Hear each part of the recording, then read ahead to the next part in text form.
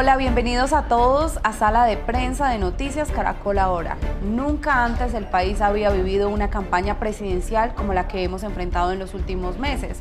Es cada vez más común escuchar a personas que dicen estar temerosas, cansadas y hasta desesperadas por el nivel tan bajo en el que han caído unos y otros defendiendo a sus candidatos. La conclusión es contundente. La confrontación de ideas, la argumentación y las propuestas de campaña no han sido definitivamente las protagonistas en esta campaña presidencial. En cambio, los insultos, los fuertes señalamientos entre los candidatos y quienes los siguen y la información falsa sí se han convertido en el pan de cada día. Buscamos opiniones sobre este complejo tema y esto fue lo que encontramos. ¿Qué sensación tienen hoy de lo que han sido las campañas electorales? La sin razón, el desorden, la falta de perspectiva. Estamos un poco saturados, hostigados de, tanta agresividad. Es incluso una falacia, ¿no? Para expertos analistas en temas políticos, nunca antes la ciudadanía había deseado tanto que se acabaran unas elecciones. Bueno, hay una sensación de hastío, de polarización y de cansancio. Yo no sé por qué hay gente que piensa que en política vale todo y, no vale todo. ¿Pero qué hizo que esta exposición de ideas políticas se empañara por ataques de lado y lado? El problema es que en esta campaña ha habido mucho de formación del otro, de, de, intentar mostrar al otro de una forma distinta a la que el otro es. Y eso me parece que ese, e, eso se sale de las líneas éticas. Los candidatos se han dedicado a descalificarse y a evitar los temas de fondo. Otros expertos consideran que el aumento de usuarios en redes sociales creó este fenómeno y por otra parte lo evidenció. Estamos en la era digital y eso que implica que cada ciudadano puede comunicarse, que es muy fácil dar a conocer sus ideas y por eso estamos viendo esa proliferación de lo que son las llamadas bodegas, un término que realmente en comunicación política no es usual. Y aunque el campo de batalla electoral fueron las redes sociales, estas mismas ahora se inundan de mensajes repudiando las agresiones por parte de las dos campañas. Analistas comparan las campañas de hace unos años y coinciden en señalar que estas elecciones están marcadas por los ataques y discusiones sin confrontación política. En las campañas pasadas, cuando teníamos solamente, por ejemplo, eh, radio, televisión y prensa, teníamos debates, más confrontación de ideas, ahora lo que tenemos son videos cortos, eh, aparición de redes sociales. Tenemos además, eh, varios de los candidatos han podido conseguir más votos con videos cortos donde no hay confrontación, donde no se delibera, donde no se discute. Y lo grave de esta guerra en redes sociales entre candidatos es que pasó a los espacios físicos y llegó a generar peleas entre familias, amigos y personas cercanas. Todo por un candidato presidencial. Pues muchas voces coinciden en que estas elecciones algunos no votan por un candidato, sino que lo hacen en contra de otro aspirante. ¿Cómo llegamos a este punto tan complicado? ¿Cómo salir de ese torbellino de agresiones que incluso ha afectado a nuestras familias, a nuestros amigos? Y por supuesto, ¿qué lecciones nos está dejando esta campaña y esta polémica contienda? Este es nuestro tema en sala de prensa. Nos acompañan para hablar de ese tema Paola Montilla, politóloga de la Universidad Externado de Colombia, y Gabriel Cifuentes, docente universitario y analista político. Paola, bienvenida a Noticias Caracol ahora. Tatiana, buenas noches y un saludo a Gabriel y a todas las personas que nos ven. Para Gabriel también eh, le damos la bienvenida aquí a este espacio de sala de prensa. Tatiana, muy buenas noches, muchísimas gracias por la invitación, un saludo muy cordial para ti, para Paola y para toda la audiencia de Caracol. Bueno, la primera pregunta para ambos es, ¿cómo es que llegamos a este punto? O mejor dicho, ¿por qué caímos tan bajo, Paola? Bueno, esa es una gran pregunta que no tengo una respuesta concisa, Tatiana. Yo creo que si bien las campañas negativas no son buenas y lamentablemente en distintos espectros y en distintos sistemas estamos viendo ese componente de las campañas políticas que son campañas negativas que siempre muestran la debilidad del otro, en este momento las campañas políticas en Colombia están transgrediendo esa línea, ¿no? Y ya son ataques realmente frontales hasta la privacidad de y a la honra y el buen nombre que puede tener cada uno de los candidatos. ¿Por qué caímos ahí? Realmente creo que es una campaña que luego de pasar o de no detenerse en lo programático ha superado y ha pasado a centrarse en la personalidad de cada candidato, ¿no? Al carácter que puede tener y a la valoración que puede tener cada uno de los ciudadanos sobre los valores, las costumbres y las personalidades. Entonces creo que una es una campaña que se ha atendido hacia lo personal en las últimas semanas y esa es una de las razones que puedo explicar por qué no estamos, ya pasamos la línea de las campañas negativas y estamos llegando a una tal vez campaña negra. Gabriel, ¿cuál es el análisis que usted hace en torno a esto? Porque que estamos en este momento en ese nivel de agresiones y en ese nivel tan triste en una campaña política. Tatiana, parece ser como un sueño que se repite, que repite cada cuatro años. Eh, no es la primera vez que en Colombia hay campaña sucia, no es la primera vez que se ataca a la persona eh, encarnada en el, en el candidato. Recordemos que hace cuatro años el gran tema era la filtración de los videos del hacker eh, Sepúlveda, que cuando Moku se lanzó a la presidencia se habló de su ateísmo, de sus problemas de salud, y que verdaderamente en nuestra historia democrática pocas han sido las contiendas que tienen dentro del centro del debate pues los ejes programáticos y yo creo, Tatiana, además que eso responde muy bien a lo que está pasando no solo en Colombia, sino también en Latinoamérica y en el continente. En el caso particular de nuestro país, creo que se están enfrentando dos propuestas populistas que recogen el malestar de una ciudadanía que más allá de las propuestas en concreto, lo que sienten es una enorme defraudación por parte de eh, la institucionalidad, de los partidos, de la política tradicional. Es así que Gustavo Petro recoge ese populismo eh, que encarna el rechazo frente a una tecnocracia que no ha sabido, a partir de los exceles, de las cifras y de las políticas, atender las necesidades del pueblo y Rodolfo Hernández, por su lado, recoge con un discurso populista el rechazo frente a una clase política tradicional y unos partidos que han defraudado la confianza, del pueblo.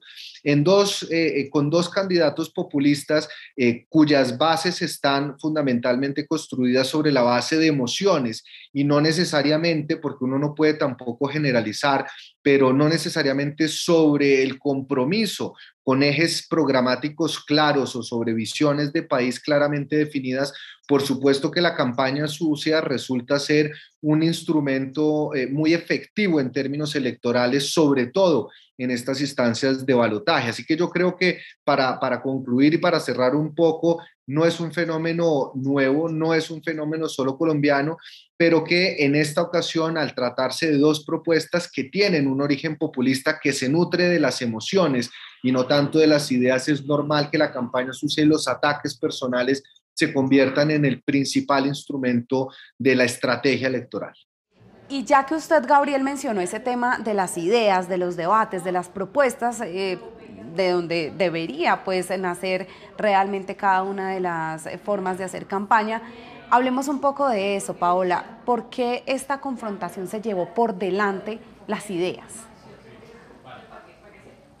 Yo creo que no se llevó por delante las ideas únicamente esa confrontación. Yo creo que también le, tenemos que recordar que desde enero comenzamos a, a entender y hablar ese debate público. Una de las consecuencias que puede, luego podemos valorar si negativa o positiva fue que esas consultas interpartidistas del 13 de marzo comenzaron a que muchos de los temas programáticos y en campaña se comenzaron a discutir desde enero o febrero. Es decir, creo que sí hemos tenido, dependiendo de cada uno de los candidatos, y dependiendo del contexto, una comunicación de diferentes tintes programáticos. Creo que si bien en estas últimas semanas, por el mismo fenómeno que menciona Gabriel, estamos en una segunda vuelta donde las, en ese momento de las campañas comenzaron a tener un mayor énfasis en, la, en el carácter personal de los candidatos y hacer alusión a esas características valorativas que puede tener cada uno de los ciudadanos.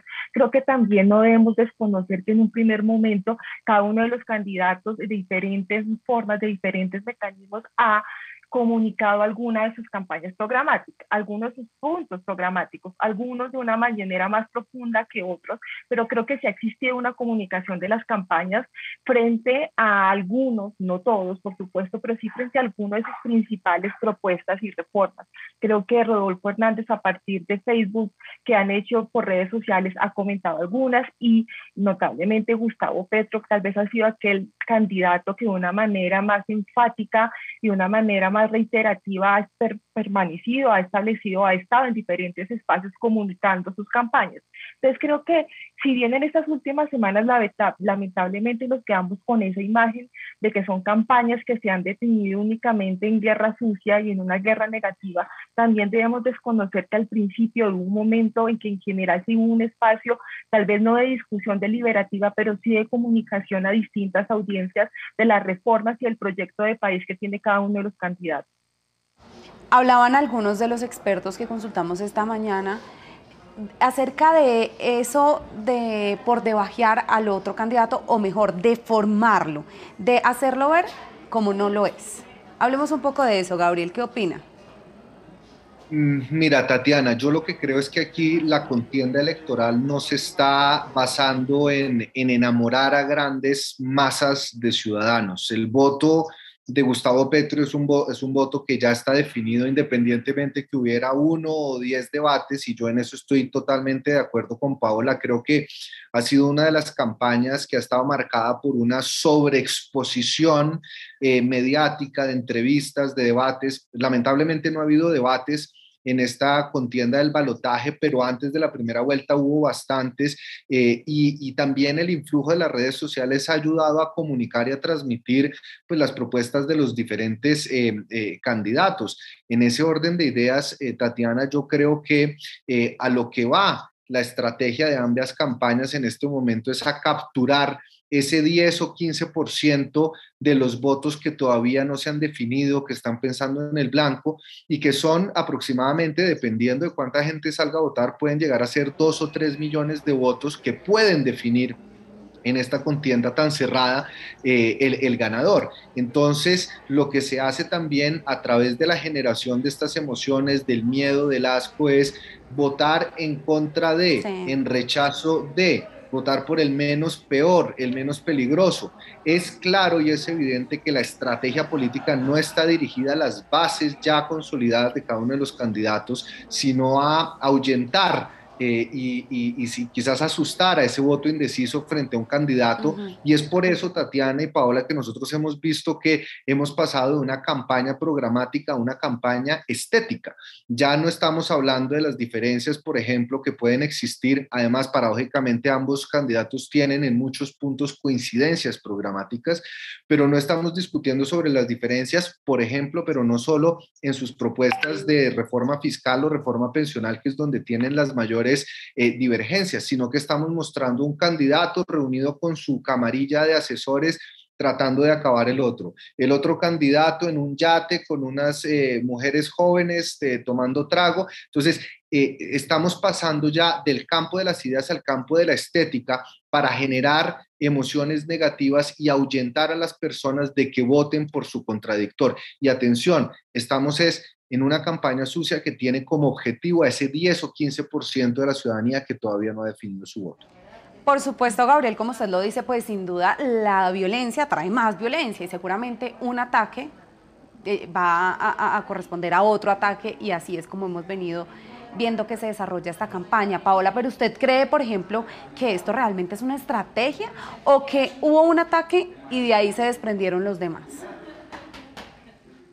Yo creo que no, no podría darte una respuesta certera. Creo que si bien una parte de las estrategias de campaña comienzan a notar, y es algo que uno lee en muchos libros, los últimos votos, como bien lo decía Gabriel, no se ganan con los aciertos de los candidatos, sino con las fallas del otro, ¿no? Entonces, si bien en un primer momento puede ser con una estrategia de campaña mostrar aquellos puntos flacos o débiles que puede tener el otro candidato, también hay detonantes que generan esa creación y esas campañas sucias, ¿no? Muy seguramente ninguno de los candidatos o no podríamos asumir que desde la campaña de Rodolfo Hernández estuviera premeditado que subieran, que sacaran esos Petro-videos, ni muy seguramente Petro estaba esperando que esta mañana Daniel Coronel mostrara el yate en el cual estaba Rodolfo Hernández. Creo que hay de los dos elementos. Por una parte, alguna parte de las estrategias de campaña muestran señalar las debilidades del otro candidato, sin lugar a dudas, pero también hay detonantes como los petroleros y en este momento puede ser que las comunicaciones o la noticia que salió esta mañana a través de, pues que comunicó Daniel Coronel puede tener otro detonante mañana y son pequeñas, ¿cómo llamarlo? Como pequeñas bombas, bombas que van estallando pues la reacción de los otros candidatos. Sí. Bueno, y aquí habrá alguna responsabilidad, sí, Gabriel, porque bueno, si eso efectivamente es una estrategia, ¿habrá alguna responsabilidad? Sí. Eh, Mira, yo, yo, yo, coincido 100% con Paola y quisiera sumar algo. Es que, es que es tan culpable el que lo saca como el que no rechaza y no, no, no, sí, no rechaza eh, que se saque. Es decir, yo no he visto hasta ahora ni por parte de Gustavo Petro ni por parte de Rodolfo Hernández hacer un llamado para que la contienda vuelva al cauce del debate democrático sano y limpio. Es decir, puede que, eh, porque los, los petrovideos son una recolección de 10 meses, es decir, aquí efectivamente alguien puede ser dentro o fuera de la campaña de Rodolfo Hernández, eso no se sabe, durante 10 meses recogió una serie de, de videos y decidió filtrarlos. Pero yo no he visto la campaña de Rodolfo Hernández rechazar ni considerar esto como un acto reprochable. Y tampoco he visto de la campaña de Gustavo Petro que cuando se filtran esta clase de videos llamen a la cordura también a sus bases, a sus bodegas, a la, gente que, le da, digamos, una dinámica distinta al debate en redes sociales, eh, reprobando esta clase de conductas. Entonces, puede que no sea una estrategia que nazca de las campañas, pero las campañas tampoco han hecho un mínimo esfuerzo por limpiar la contienda y por reencauzar el debate democrático a, lo que debería ser este, esta, este, este balotaje. Entonces, eh, y, fíjate una cosa, Tatiana, em, cuando se sacó lo de la hija de Rodolfo Hernández, cuando se habla de campaña negativa y de campaña sucia, hay una, una muy delgada línea si se pasa esa delgada línea, esa campaña negativa se puede volver contra la campaña que la filtra.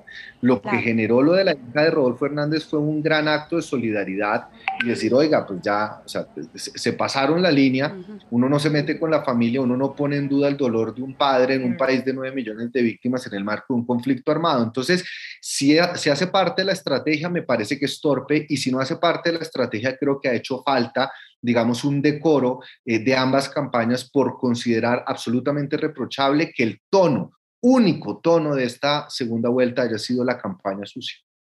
Y de hecho, muchos de los analistas pues eh, eh, coinciden con ustedes en señalar que aquí sí se pasaron los límites, que aquí, a diferencia tal vez de otras campañas, Gabriel, usted nos lo, nos lo contaba hace unos instantes, pues no es la primera vez que se eh, genere este tipo de campañas sucias, pero no tal vez a ese nivel, no tal vez transgrediendo esos derechos fundamentales del otro candidato. Y ha sido de parte y parte.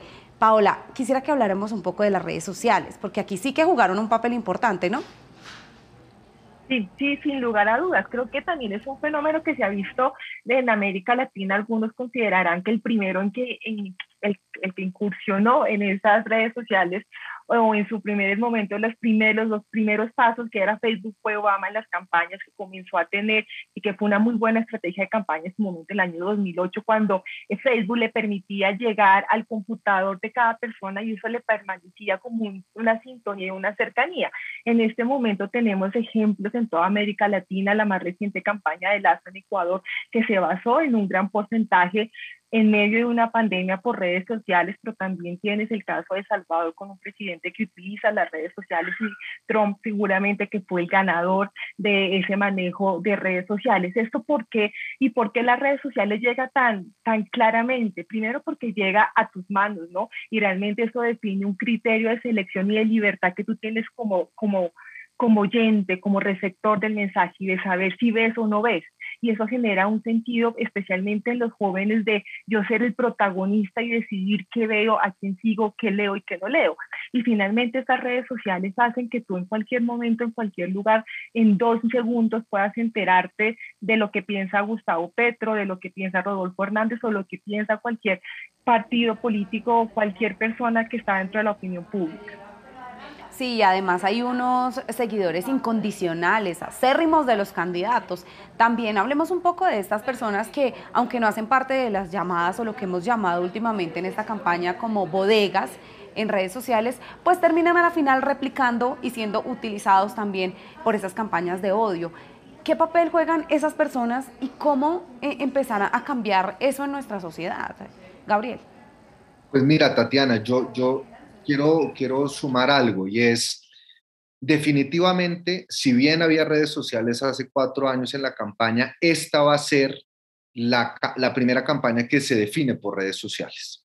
El fenómeno de Rodolfo Hernández con su TikTok, con su... Rodolfo Hernández desafió la idea de la política tradicional de salir a plaza pública a eventos masivos, con un presupuesto extremadamente limitado, con una estrategia enfocada en un solo mensaje y en tres redes sociales, logró cautivar a 6 millones de personas y eso no tiene antecedentes. Creo que además las redes sociales han sido tan positivas como negativas. Obama las, las usó por primera vez y llegó a la presidencia con gran fuerza, Trump usó a Cambridge Analytica y fue un gran escándalo de perfilamiento de usuarios para poder mandar mensajes eh, personalizados y así cautivar a la mayor cantidad de, de electores conociendo de antemano sus preferencias y usando datos personales.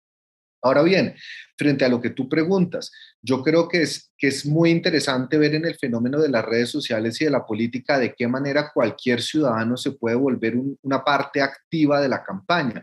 Y es ahí donde nosotros vemos el rol de los influenciadores, que son esas personas que no necesariamente pertenecen a una bodega, pero que tienen muchos seguidores, que tienen un público muy amplio y que generalmente son eh, vectores o que son conductores de mensajes a audiencias que tienen un determinado sesgo, porque esa es otra cosa de las redes sociales. Las redes sociales permiten a, los, a, los, a la audiencia escoger el mensaje que quieran oír y para eso hay un mercado inmenso. Y ahí esos influenciadores juegan un rol fundamental sin ser parte activa de la campaña, sin hacer parte de su nómina, sin hacer parte de las bodegas y que por sus mismas creencias y por su misma lealtad a un candidato son multiplicadores y amplificadores genuinos de una campaña, eh, permitiéndole también llegar a espacios y a personas que el candidato probablemente en una estrategia electoral tradicional no podría llegar. Entonces, eh, son, son actores fundamentales dentro de una campaña que se ha desarrollado fundamentalmente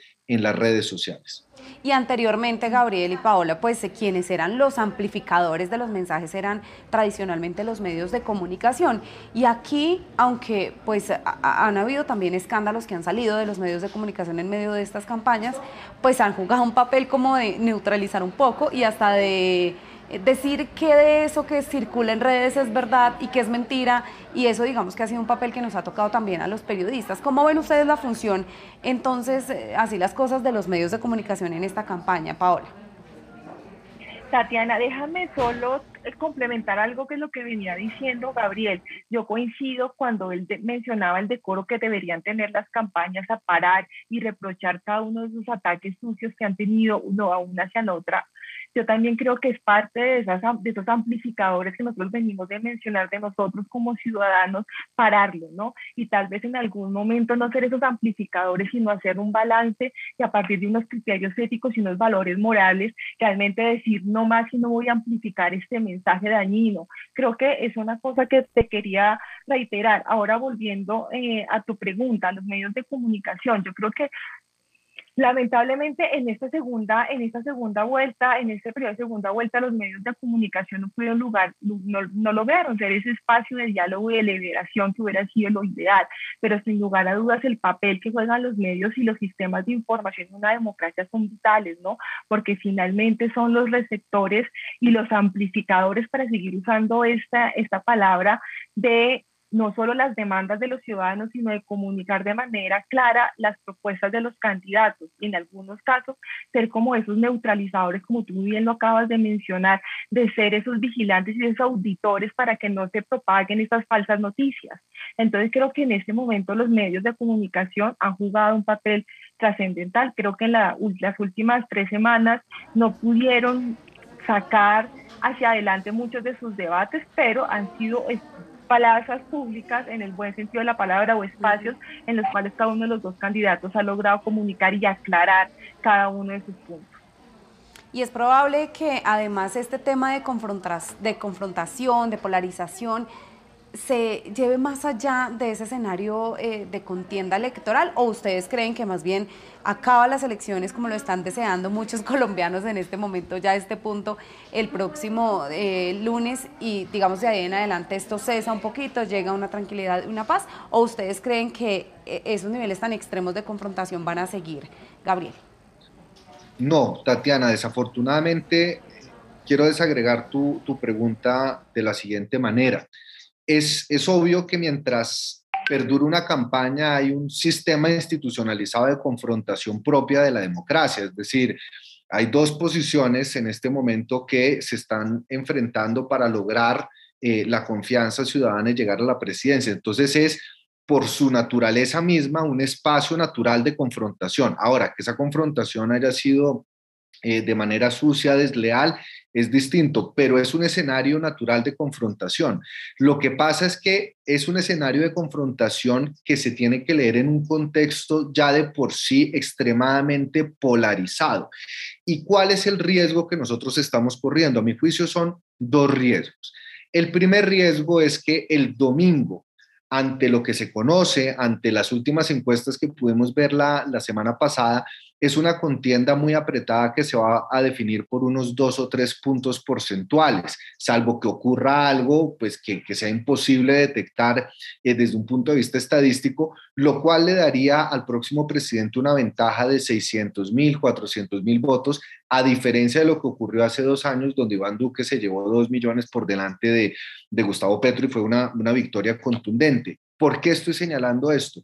Porque creo que el primer reto y el primer acto de responsabilidad de ambos candidatos tiene que ser el reconocimiento del resultado sin perjuicio, por supuesto, que a través de las comisiones escrutadoras o de los mecanismos judiciales y administrativos puedan poner de presentes posibles fraudes, posibles fallas y demás. Pero el no reconocimiento de las elecciones el próximo domingo en un ambiente tan polarizado, en un ambiente tan caldeado, puede eh, constituirse en un riesgo eh, que eh, es difícilmente controlable. Entonces, ahí la figura del candidato y de la campaña es muy importante para advertirle a sus bases que sea cual sea el resultado, se va a respetar y se va a respetar la democracia y la institucionalidad.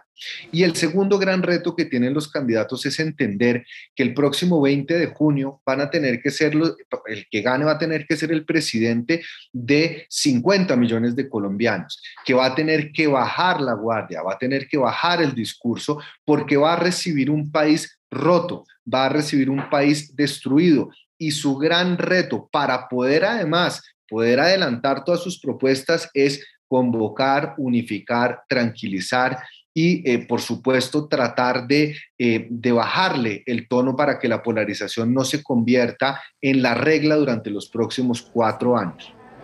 Y hablando de eso, Paola, ¿qué debemos hacer entonces para que se permita gobernar a quien gane, sea quien sea, y no caer otra vez en una página sin tregua, en, una pugna sin tregua los próximos cuatro años, que realmente esta violencia o esta confrontación se pare. Pues Tatiana, yo creo que es muy importante que, como lo decía Gabriel, hay dos cosas en la democracia que parecen antagónicas, pero son ciertas. Primero, que haya incertidumbre en los resultados, lo que vamos a tener, y segundo, que haya un reconocimiento y una certitud de la veracidad de esos resultados y por eso es tan importante lo que decía Gabriel. los candidatos deben reconocer el sistema electoral y deben reconocer al presidente.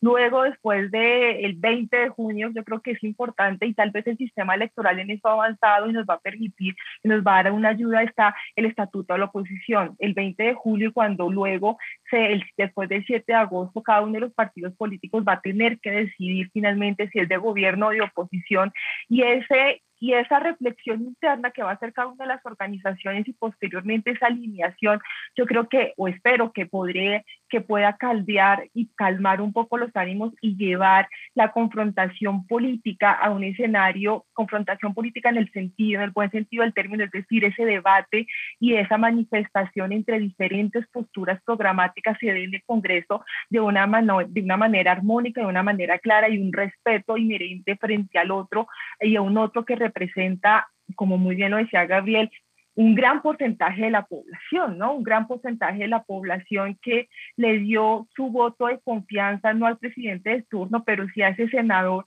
que va a ser el representante de la oposición. Entonces creo que es una función que ya está en manos de los partidos políticos, en manos de los congresistas en específico que se eligieron y que en este momento cuando comience el, después del 7 de agosto y se alinee cada uno de los partidos políticos hacia una línea directa de gobierno-oposición, el de debate que se va a dar allí se dé a partir de las reglas éticas, a partir de una confrontación, de una confrontación política deliberativa.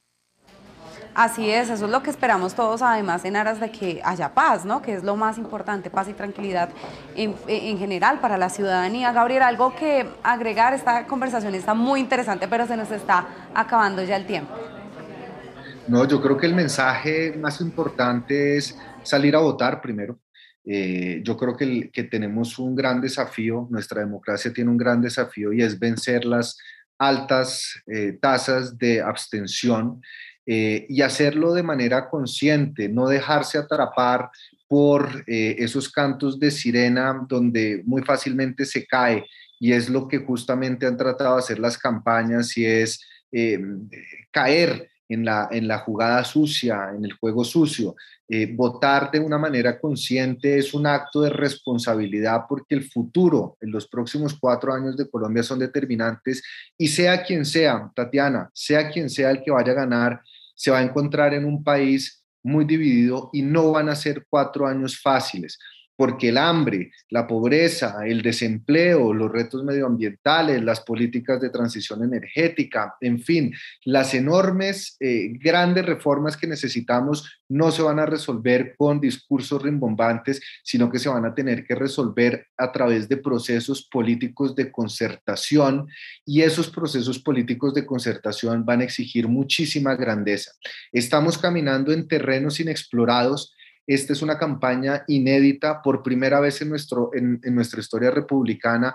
Puede que un gobierno de izquierda llegue al poder o puede que llegue también al poder una opción totalmente transgresiva de la, de la, política tradicional. Así que son cuatro años de incertidumbres donde lo que necesitamos son líderes responsables y que entiendan que una vez se acabe la campaña van a tener que gobernar para 50 millones de colombianos que sienten rabia, que sienten frustración, que tienen muchas expectativas y que están cansadas de la forma tradicional de hacer política. Entonces, es, el voto responsable implica no ceder ante las tentaciones de la campaña sucia, salir a votar, hacerlo responsablemente, tomarse 10 minutos y leerse los programas de cada uno de los candidatos, porque cada voto en esta elección tan apretada, cada uno de nuestros votos cuenta y cuenta mucho y cuenta también lo que vamos a hacer nosotros los ciudadanos desde nuestras redes sociales y también desde nuestro día a día, desde nuestras conversaciones diarias en torno a estos temas. Si es que vamos a seguir en ese nivel de violencia y agresividad con el otro o vamos a tener calma, tranquilidad